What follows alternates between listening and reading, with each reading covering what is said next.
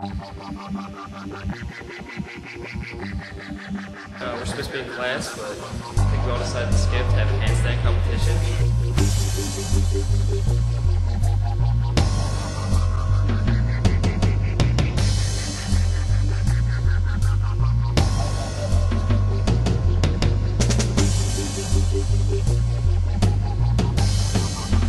Alright, Jordan. Where's my money? Yeah, money?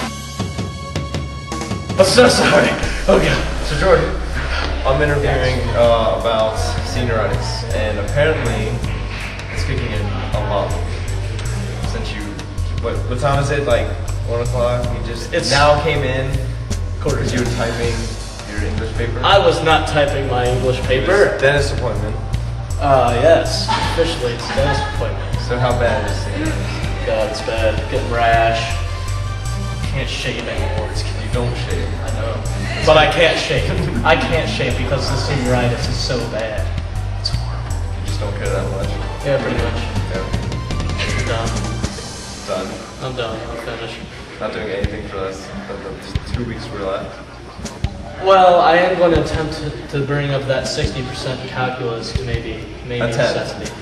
But um, have to make sure you're trying But we only have the AP test left. Are you gonna study for that?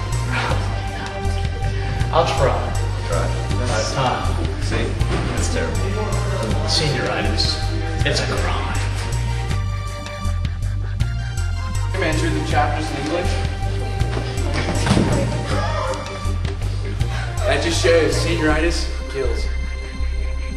Okay, I'm here talking with B Mac Hia about his senioritis. Dude, how bad is it? Dude, freaking sucks, dude. I, I just don't want to work anymore. I just, I don't want to wake up. You know, I have no reason to wake up anymore.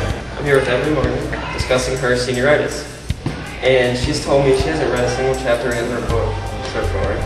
And And I'll probably fail the test that's over. she's taken multiple classes. My classes, I'm like failing three of them because I just don't care about school anymore.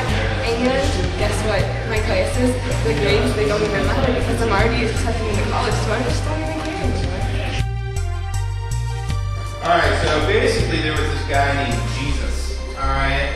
And it was kind of a big deal uh, back in the day.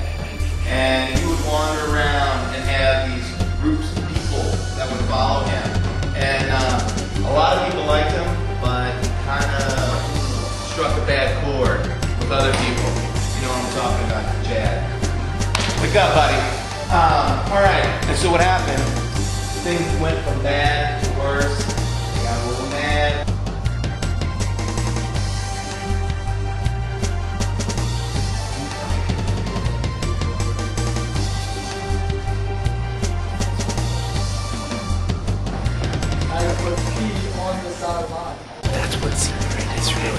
Really